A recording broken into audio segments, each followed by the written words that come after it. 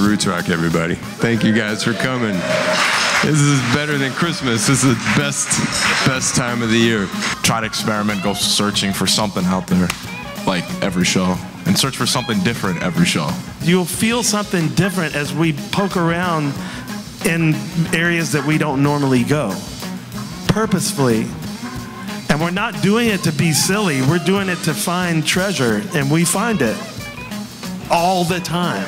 And just train yourself to just go into the music, respect the music, and give it up because it's not us. When you're in, really in the moment, we are just opening up and trying to be conduits for the energy that makes the world go round, you know, as my mom would say.